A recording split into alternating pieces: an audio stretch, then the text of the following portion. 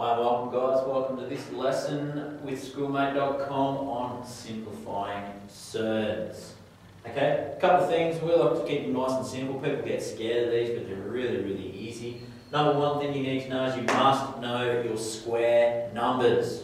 So these are the square numbers here, 4 and 9, because 2 squared is 4, 3 squared is 9. So 4 and 9 are the square numbers.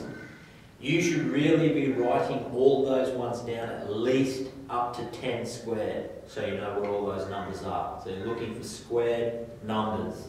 Okay? Outside of that, the rule that you need to know is the square root of AB, of the number, can be broken down into square root of A times the square root of B. So the square root of a number times another number. Okay? Nice and easy. Let's look at a couple of examples really quickly. Example number one is let's simplify root 72. Okay? So step one is to find the highest square number that will go into 72. So if you've got them all written down on your page, which one is the highest one that will go into it? Okay? Now 72 has the factors of 36 and 2. And 36 is a square number. Alright? So step two is to follow our rule. So now we're going to go A times B using these two numbers. 36 root 36 times root 2. Step 3 then is to do our answer. The square root of 36, now you should already know the answer to that because you wrote it down, but you can do it on your calculator, it's nice and easy. Square root of 36 is 6.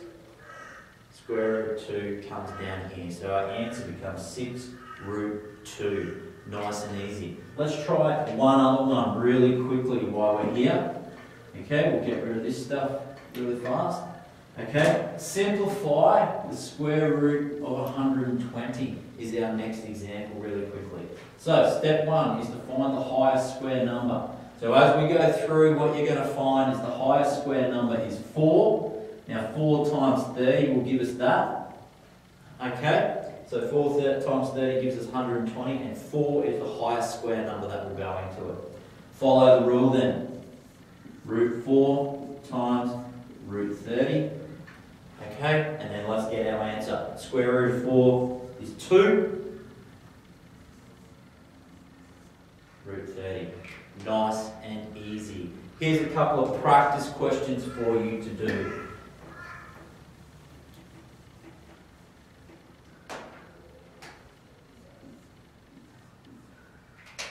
First one.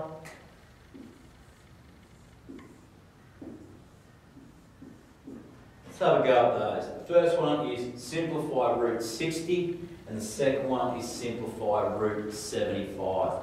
Join us after the break in about five minutes, come back and we'll go through the answers to those two.